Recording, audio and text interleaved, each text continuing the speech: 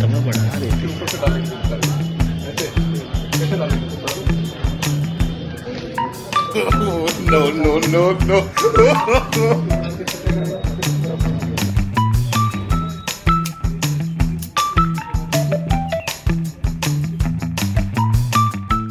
वाह धुरंधर वाह वाह यूपी पुलिस वाह भैया यूपी की छाए छाए पुलिस गजब है। यकीन ना हो तो खुद ही देख लीजिए। लेकिन उसके पहले अपना पेट ज़रूर पकड़ लीजिएगा। हाँ सही कह रहे हैं, अपना पेट ज़रूर पकड़ लीजिएगा। क्योंकि जो हम आपको दिखाने और बताने जा रहे हैं, आप उसे जानकर लोटपोट हो जाएँगे। पेट में हँसते हँसते बल पड़ जाएगा। वैसे कुछ लोग इन साहब की तरह अपना माथा भी पीटने लगेंगे। कुछ लोगों के माथे पर भी बल पड़ जाएगा।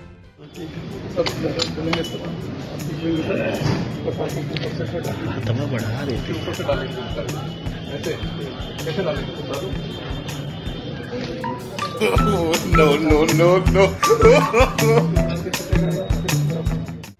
क्या हो रहा है यहाँ? क्या कमाल है यूपी पुलिस का? वो तो हम बताएँगे। पहले ये लाजवाब तस्वीरें हैं कहाँ की? वो जान लीजिए। ये तस्वीरें हैं संत कबीर नगर की। जहाँ डीआईजी साहब खुद पहुँचे थे, पुलिस वालों का एग्ज़ाम लेने, मने चौकी थानों का निरीक्षण करने। लेकिन इन होनहारों को देख खुद ही हक्का बक्का हो गए। कहीं किसी की गोली ही नहीं चली। देखिए, कैसे साहब भर कर ज़ोर लगा रहे हैं, लेकिन मुआ पिस्टल है कि खुल ही नहीं रहा। साहब आए हैं, कुछ इज़्ज़त ही रख लेता, लेकिन ना पसीजा ये पिस्टल। बगल वाले साहब भी झाँक रहे हैं, लेकिन क्या करें, खुद भी इसी समस्या से सताए हुए हैं। देखिए कैसे साहब के आते ही झट से खड़े हो जाते हैं और इनकी खिसियाहट का तो क्या ही कहना। और इन्होंने तो जो कारनामा कर दिया कि डीआईजी साहब ज़िंदगी भर ना भूलेंगे। देखिए कैसे ये एसआई नली में ही गोली भर दे रहे हैं।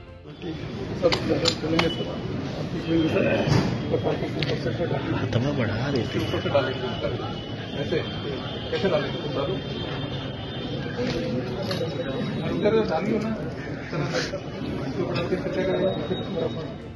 डीआईजी के सामने बंदूक की नली में गोली डाली और फायर करने की कोशिश की।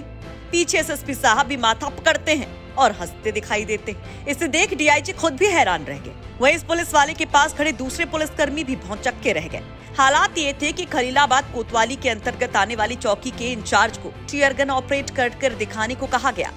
लेकिन काफ़ी देर मशक्कत करने के बाद भी चौकी इंचार्ज टीयर गन ऑपरेट नहीं कर पाए। तो भैया ये हाल है जूनियर से लेकर सीनियर पुलिस कर्मियों का कि अगर ज़रूरत पड़ी तो खुद को तो बचा नहीं पाएँगे। पब्लिक तो राम भरोसे ही। हालाँकि हालात को देखने के बाद डीआईजी आर के भारद्वाज ने कड़ी और रेगुलर ट्रेनिंग देने की बात कही है। कुछ देखने को मिला। देखिए ये एक हम लोगों का एक वार्षिक निरीक्षण होता है जिसके अंदर में हम लोग पूर्व में लगभग दो हफ़्ते पहले हम लोग सूचना देते हैं कभी कभी एक महीना पहले। कि हम लोग उस थाने का पुलिस ऑफ़िस का और डिफरेंट एरिया जो जनपदीय पुलिस है उसका निरीक्षण करेंगे।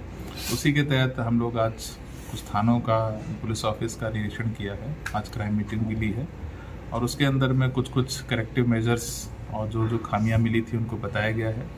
और इंस्पेक्शन का पर्पज़ होता है कि एक अ, अ, अपने विभाग के अंदर में जो भी चीज़ें दिखाई दे रही हैं हम अपने अपने अधीनस्थों को कहें कि उसके अंदर में इम्प्रूवमेंट लेकर आए सुधार सरा- सुधार लेकर आए।